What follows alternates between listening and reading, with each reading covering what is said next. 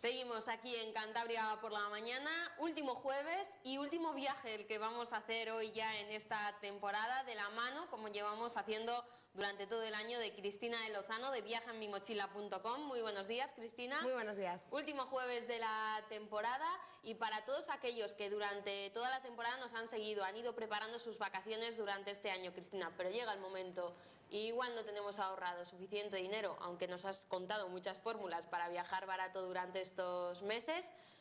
Hemos elegido para, esta, para este último programa opciones low cost para pasar unos días, además, cerca de casa, ¿no? Sí, tenemos tres opciones desde para ir a pasar una tarde o para ir a pasar un fin de semana, que están a la altura, yo creo que casi de cualquier bolsillo, muy cerca de Cantabria y en las que poder pues eso, pasar nuestro pequeño verano en película, aunque sea solo un ratito. Bueno, pues tres opciones, como les decíamos, low cost para viajar por la zona norte de España. La primera de ellas, Cristina, espero decirlo bien, ¿eh? San Juan de Gaztelugache. Muy bien, Cris, tienes premio. ya sé euskera casi. ¿Por qué has elegido esta opción? Bueno, porque es un sitio que nos pilla bastante cerquita a los cántabros, ¿no? porque está en la costa de Vizcaya, un poquito más allá de Bilbao, y porque es un sitio súper bonito, que seguramente lo hemos visto un montón de veces en la tele, pero basta, que lo hayamos visto tantas veces en la tele como para no haber ido nunca. Bueno, pues si no hemos ido nunca, este verano es el verano de ir a San Juan de Gaztelugache. La mejor opción en este caso es ir en vehículo propio, imagino Cristina, porque las opciones de transporte van a ser Santander-Bilbao y en Bilbao nos tendríamos que buscar la vida para llegar hasta allí. Sí, aquí lo mejor es pues eso, ir en nuestro coche propio para poder llegar de la puerta de nuestra casa al destino cómodamente. Mm, si se puede ir desde Bilbao en autobús, pues puede ser que haya la opción, no lo tengo del todo claro, no pondría la mano en el fuego tampoco seguramente de alguna forma, porque es un sitio muy turístico, pero yo creo que lo mejor es ir en coche. ¿A cuánto tiempo más o menos está de Bilbao, que quizás la referencia para la gente que te va a ir en coche? Pues digamos que a 20 minutos, 30 minutos igual, una cosa así. La mayor parte es autovía, pero luego nos tenemos que desviar un poquito. Pero bueno, se puede llegar casi hasta el sitio hasta en coche. No podemos aparcar justo antes de las escaleras, lo tendremos que aparcar arriba en donde están los bares y luego bajar andando por la carretera que se ha destruido un montón de veces, pero ahora mismo está arreglada y luego ya una vez abajo subiremos los escalones, que son unos 200 y pocos, pero eso se sube, muy, fácil porque son muy bajitos. No son escalones como los del faro del caballo que tenemos en Santoña, son escalones bastante agradecidos.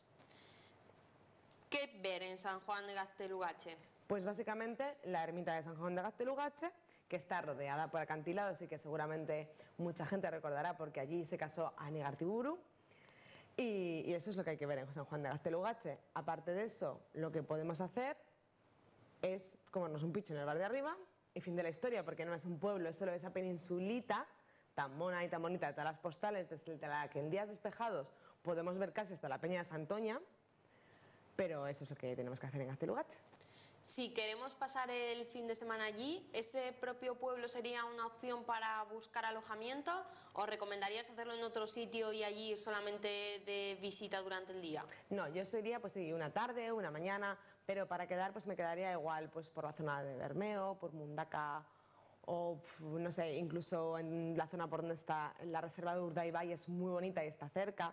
También puede ser una opción para quedarse. Está el bosque de Oma por si queremos hacer otra excursión ese me parece buen, buen sitio para, para, quedarse. ¿La ermita habitualmente está abierta, Cristina? No, no está siempre abierta. Es una ermita, vamos, diminuta, es más pequeña que nuestra Virgen del Mar, de hecho, así que es complicado pillarla abierta. No obstante, se puede tocar la campana desde fuera. Hay una leyenda allí, pero os la dejo que la leáis cuando vayáis. Y se puede echar un ojo por la ventanuca de dentro. En realidad, lo que merece mucho la pena es, el exterior, ¿no? el emplazamiento de esa ermita, mucho más que, que verla por dentro. Bueno, pues esta es una de las primeras opciones low cost. La segunda es para aventureros, probablemente, o no sé a quién se la recomendarías tú, es hacer una ferrata por la zona de la Son, Cristina. Sí, pero bueno, aquí hay dos opciones. Se puede ir a hacer una ferrata podemos ir a hacer una ruta por, la, por el Parque de los Collados de la Son, que lo tenemos aquí al ladito de Ramales. Es precioso y tiene muchas opciones, no solo ferratas, también podemos hacer espeleología en cuevas si nos llueve o podemos hacer el descenso de la Son con piragua, aunque bueno, en verano el río baja bastante más seco, entonces igual no podemos hacerlo en verano, pero bueno, tenemos otras actividades. Yo recomiendo ferratas porque yo es una actividad que descubrí hace bastante poco y que me encantó. Y es como siempre cuando me preguntan, ¿qué es una ferrata? Pues bueno, es como escalada para torpes, entre comillas, ¿vale? Porque son como unas escaleras de hierro muy bien enganchadas que hay en la roca, por la que uno va subiendo, subiendo, subiendo, bien agarrado con arneses, etcétera, etcétera, y llega hasta un punto X, hasta arriba. Entonces ha escalado, pero mm, con menos esfuerzo físico probablemente que se lo hubiera hecho pues, sin todas esas barras y sujeciones. Ahora, hay ferratas y ferratas. En Ramales está el cáliz, que es muy sencillita y para todos los públicos. Y en, en Matienzo, un poquito más allá de Ramales, está esta otra, que se llama el risco y que es bastante más, más complicada. O sea, no es infinitamente complicada. Ahí me tenéis, soy yo colgada del, de la ferrata, con lo cual no es muy difícil, pero bueno, ya es un poquito más difícil, con salientes, con repechos para afuera, etcétera, etcétera. Pero aún así, merece mucho la pena, la pena intentarlo. Mira, ahí tenemos San Juan de Gaztelugache. Cristina, si elegimos hacer esta ferrata, tenemos niños, ¿a partir de qué edades eh, recomiendan las, eh, las asociaciones o los organismos que organizan estas ferratas el poder realizarlas? Pues mira, ahí me pillas un poco porque no estoy segura 100%. Deberíamos consultarlo con la gente que lleva todo este tipo de actividades. De hecho, podemos hacerlo o por nuestra cuenta. Si tenemos equipo, podemos hacerlo por nuestra cuenta. Si no lo tenemos, podemos alquilarlo allí en Ramales por 9 euros para todo el día. Tres piezas que está, creo que está muy bien. Y puedes subir las ferratas las veces que quieras y moverte con el coche de una a otra, no hay problema. Y allí mismo hay servicio de guías. De hecho, en, la página web, en mi página web podéis mm, contactar con los guías. Es más, podéis contactar hasta con mi guía si queréis. Y ellos os explicarán y os darán todas las referencias. Depende de la edad de los niños, puede ser apto o puede que no, porque es una actividad de riesgo, entonces, bueno. Para quien se inicia por primera vez una ferrata, aunque dices que una de ellas, la que está más cerca de Ramales, es eh, relativamente sencilla, ¿recomendarías hacerlo el primer día con un guía que más o menos te oriente? Yo sí, sobre todo en el caso que nunca hayamos escalado y nunca hayamos hecho nada de este tipo. Si has escalado ya, pues en realidad mm, ya seguramente sabes de qué estamos hablando cuando decimos ferrata y, no te y sabrás cómo utilizar los diferentes mosquetones que tienes, para que es cada cosa, eh, cómo asegurarte cuando tienes que parar, etc. Si no tenemos ni idea, yo sí recomendaría alquilar los servicios de un guía porque te van es una cosa que te va a valer para todas las demás que hagas y vas a aprender a hacerlo bien, con seguridad y te vas a evitar muchos disgustos. Y si por un casual te entra el pánico cuando lo estás haciendo o te pasa alguna cosa, el guía te va a saber ayudar y te va a sacar del apuro. Entonces, si es la primera vez y no tenemos ni idea, sí, desde luego que cogería un guía. Pasaremos allí prácticamente, Cristina, todo el día. Eh, nos tenemos que llevar comida, no se puede bajar a Ramales a comer. ¿Cómo lo podemos organizar? Pues la primera ferrata, la que es la más sencilla, el cáliz, esa está prácticamente dentro de Ramales. O sea, podemos ir andando y volver del pueblo. Entonces, pues no hace falta ni que nos llevemos un bocata. Podemos bajar a comer a cualquier bar, que además por esa zona se come también muy bien y no es problema. La de Matienzo ya habría que coger el coche y está más apartada y allí no hay mucha mm, vida humana. Entonces, ahí yo sí me llevaría un bocata o bueno, o iría a Laria y volvería a Ramales para comer también o iría a algún pueblo de esa zona en los que también se come muy bien. Si en lugar de hacer ferrata elegimos hacer una ruta, eh, las rutas sí que se pueden hacer sin guía. ¿Cómo podemos localizar las rutas que podemos encontrar por esa zona de la SON que nos comentabas antes? Bueno, pues pueden hacerse con guía. Con, la verdad es que hay, hay unas cuantas empresas que hacen cositas por allí y por lo menos con los que yo he estado me han encantado cómo hemos hecho las cosas. La verdad, muy profesionales y muy bien. Y si no, pues hay un montón de mapas de senderos que se pueden, que se pueden utilizar para ver dónde vamos. Hay, por ejemplo, una ruta al Pico San Vicente, que yo es una que tengo muchas ganas de hacer, todavía no la he hecho, que puede ser interesante, que claro, el pico está así en pico, entonces hay que ir con ganas y buen calzado. Importante el que llevarnos en la mochila en cuanto a ropa, porque hemos hablado del apartado gastronómico, pero importante ir preparados, ¿no? También, ¿para hacer la ferrata algo en especial? No, eh, para hacer ferratas no hace falta pies de gato ni nada que sí que son necesarios para escalar. Nos vale con unas botas normales de montaña o unas playeras fuertes. Aunque sí que recomendaría, si tenemos, si no tenemos no pasa nada, incluso los podemos alquilar, unos guantes de ferrateros que son pues como los de un poco de vagabundo, sin deditos por aquí, ¿no? para que la mano pues no se nos dañe igual con una piedra, un golpe, tal. Pero por lo demás no hace falta ninguna cosa mm, más, porque el equipo que es pues eso, como un cinturón, con unos mosquetones, un casco, etcétera, etcétera, nos lo van a dejar allí.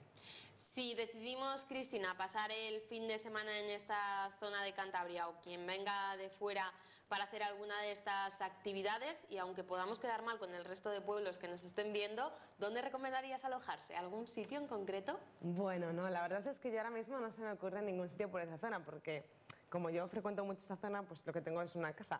Entonces, no se me ocurre ningún sitio de alojamiento. Eso sí, ya para hacer el fin de semana perfecto, si nos quedamos allí, recomendaría dos cosas. Una es acercarnos hasta el nacimiento de la Son, aunque me irán igual, pues viene un poco flojo, y comer en Hogarrio, que se come muy bien. Y la otra es ya, pues ya que nos ha hecho tan bueno todo el fin de semana, para relajarnos después de tanta ferrata, ir a darse un baño a la playa de Laredo.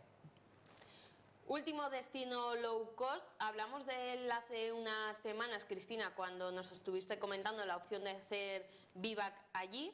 Y hablamos de los lagos de Covadonga. ¿Por qué recomendarlo como tercera opción low cost cerquita de aquí, de Cantabria? Pues bueno, pues por eso, porque cuesta muy poco dinero. Estamos hablando de que podemos pasarnos el fin de semana allí, encaramados a un paisaje maravilloso por 50 euros persona, con el alojamiento, bueno, el alojamiento, claro, el alojamiento, la manutención y la gasolina incluidos. O sea, que a ver qué fin de semana te cuesta 50 euros. Y, luego aparte porque realmente es una de las mejores experiencias que yo he vivido y me he empeñado en que todo el mundo disfrute de esa experiencia y que la gente se dé cuenta que no por pagar mucho las cosas son mejores.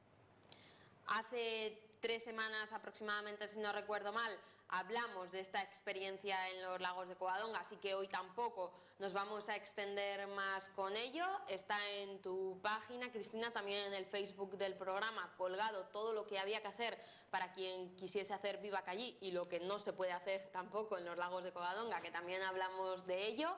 Antes de despedir el programa, de despedir la sección, no sé si hay alguna recomendación más, Cristina, para pasar este verano que quieras hacerle a los espectadores hasta que volvamos a retomar los viajes en septiembre? Pues yo mi recomendación es que no se preocupen por hacer grandes viajes si no hay dinero, el dinero es lo de menos. Simplemente salgan, disfruten de lo que tenemos al lado, que en Cantabria son un montón de cosas maravillosas. Que un día podemos ir a Picos de Europa en la parte de Asturias, genial. Que otro día podemos ir a Madrid o a Tánger o a Turquía, genial. Pero que solo lo que tenemos en Cantabria es maravilloso y que hay que disfrutarlo. Bueno, pues tres opciones low cost por el norte de España para despedir estos programas del año. Cristina, te agradecemos que hayas estado con nosotros esta temporada. Si quieres, serás bienvenida, claro que sí, en septiembre a seguir viajando y haciendo viajar a los espectadores de este programa. Muchísimas gracias. A vosotras.